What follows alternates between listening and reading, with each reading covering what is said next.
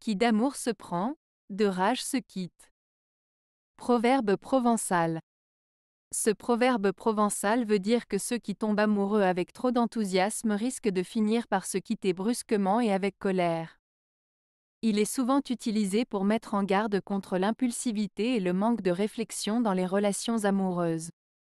Autrement dit, mieux vaut prendre le temps de connaître l'autre avant de s'engager dans une relation compliquée.